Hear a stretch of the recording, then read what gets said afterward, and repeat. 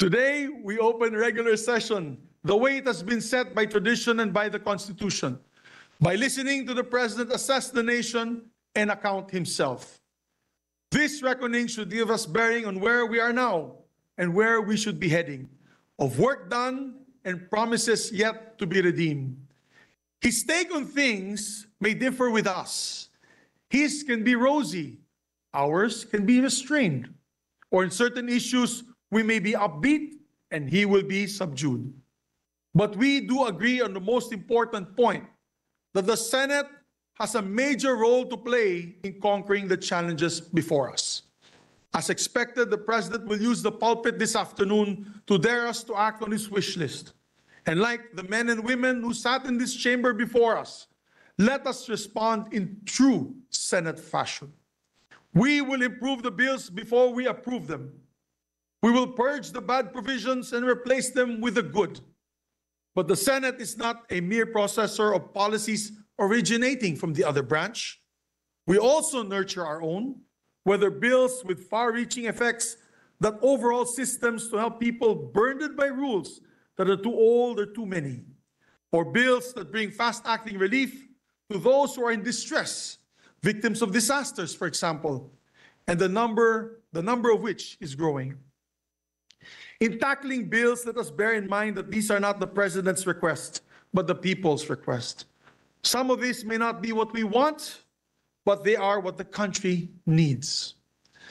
To a people scarred by the recent pandemic, never must be never must we be caught flat-footed again. Let us pass the bills creating the Center for Disease Control, Virology Institute of the Philippines, and the Medical Reserve Corps to farmers who feed other people but cannot feed their own. Let us pass a stronger anti-agricultural smuggling law that will flood that so that the flood of imports rather will not drown the crops that they grow. To taxpayers burdened by tax rules too complicated, inflicted by men who can change them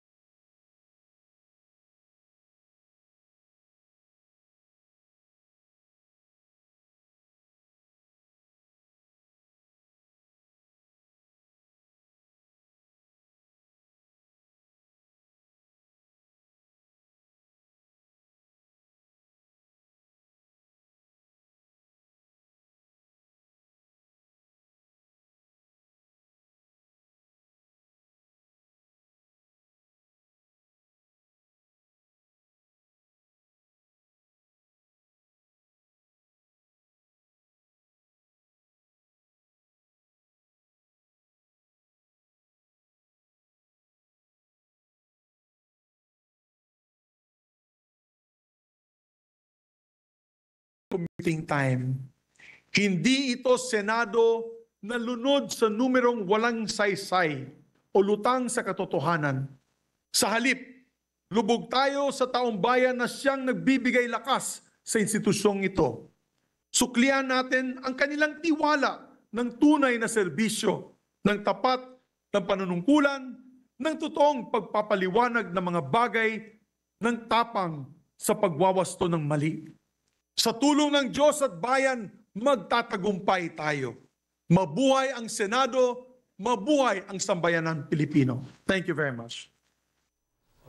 Senate President Juan Miguel Zubiri there in Pasay City opening the sessions uh, for the Senate. He trumpeted the achievements of uh, the group, citing initial or several and vital Senate investigations in as many fronts to craft better laws. He also noted individual senators' achievements in seeking solutions to the challenges they have seen, citing substantive achievements in various sectors. Now, he also pushed for several uh, priority legislation that the Senate intends to tackle in the second part of their session as it resumes. Uh, these include the CDC law, the Virology Institute, the uh, creation of the anti-agriculture smuggling body, also, the ease of paying taxes, waste to energy bills, and uh, the National Employment Action Plan. Over and above uh, the other priorities uh, they have set, uh, such as modernizing the defense system and improving e-commerce protection. Now, uh, Zubiri said the Senate now aims to sustain this kind of momentum and performance moving forward. Now, earlier, we also listened to House Speaker Martin Romualdez opening the 19th Congress. Uh, he said the House will maintain and amplify the momentum in terms of pushing priorities in the legislative agenda. He said he will continue the mission and encourage everyone, in fact, to join him in continuing the mission uh, to uphold uh, citizen welfare. He also reminds uh, congressmen to remain committed to transparency in order to fight for public welfare. And at the House of Representatives this morning, um, Mr. Romualdez also set some priorities uh, for the House. This includes the build, operate, and transfer schemes, which he expects uh, to come up with some enhancements. He also spoke about uh, e-commerce, improving health emergency law, creation of the Virology Institute, which was one of the priorities also set by uh, Senate President Juan Miguel Zubiri. He also uh, spoke about some enhancement in the salt industry. Uh, he also spoke about e-government and other enhancements such as the ease of paying taxes. Now, we will continue to cover important events today at both houses, particularly this afternoon as President Ferdinand Marcos Jr. delivers his first or second State of the Nation address. We will be having more updates in between our newscasts and a special at 4 p.m. on the President's SONA.